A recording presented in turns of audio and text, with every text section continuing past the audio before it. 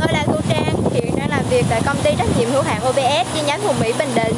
Thì uh, hiện tại Trang đang ở ao của anh Trinh Mỹ Chánh. Thì tôm có hiện tượng đó là teo gan, uh, gan uh, mất lipid gan và ống gan uh, bị biến dạng.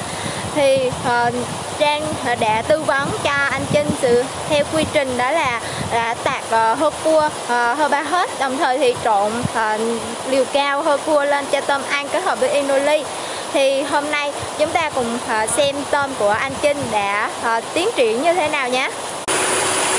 Vâng mọi người đây là anh Trinh. Hiện tại thì anh đang uh, tiến hành tạt là hơ cua và kết hợp chung với hơi ba hết.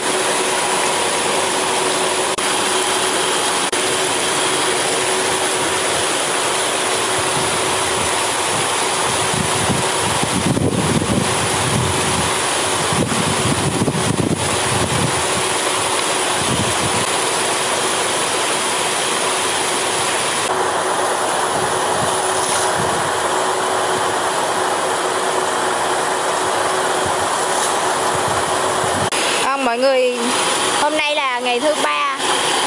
Từ từ ngày anh bắt đầu xử lý. Chúng ta cùng xem lại tôm của anh. Tôm hiện tại được một tháng 20 ngày.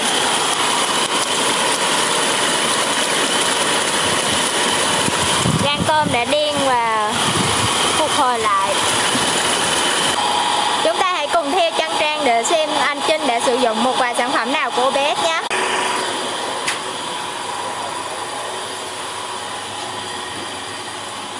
hơi ba hết thảo dược tạt gan. Thơ cua. Ờ, à, detoxin để rửa nước.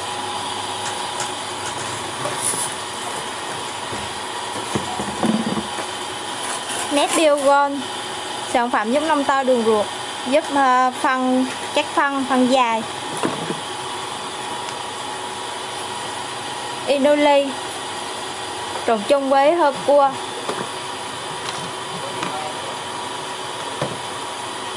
À, hơ thai diệt khuẩn.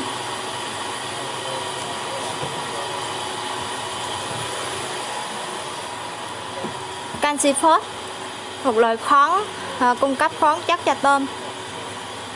Ờ, à, diệt khuẩn à, iodine cảm ơn quý bà con đã theo dõi. Mọi thắc mắc xin vui lòng liên hệ đến tôi với số điện thoại 034 302 0629 rất vui được hỗ trợ quý bà con trong cuối vụ nuôi. Chúc bà con ờ, có một vụ nuôi thành công, được mùa, được giá. Xin chào và hẹn gặp lại mọi người trong các video tiếp theo.